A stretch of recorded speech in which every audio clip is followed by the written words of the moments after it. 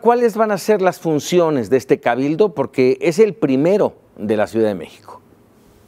De acuerdo con la Constitución Política de la Ciudad de México, el Cabildo es un órgano de planeación, coordinación, consulta, acuerdo y decisión del gobierno capitalino y las personas titulares de las alcaldías. Las decisiones que ahí se tomen deberán realizarse por consenso. Estará integrado por el jefe de gobierno y los 16 alcaldes y contará con una secretaría técnica. Sesionará de manera ordinaria cada dos meses y podrán asistir también los titulares de las dependencias, unidades administrativas, órganos desconcentrados, y entidades de la Administración Pública de la Ciudad de México, así como aquellas personas relacionadas con las materias previstas para dichas sesiones. Su función será establecer acuerdos generales sobre los asuntos de la Administración Pública de la ciudad y de las demarcaciones territoriales que se sometan a su consideración. También opinar sobre los proyectos de iniciativas de ley y de cualquier otra norma que promueva la jefatura de gobierno que tenga un impacto en el ámbito específico de las demarcaciones territoriales. Asimismo, acordar políticas, programas y acciones para el desarrollo de infraestructura, servicios y otras actividades de interés para la ciudad. Con información de Tania Gómez, Mega Noticias, TVC.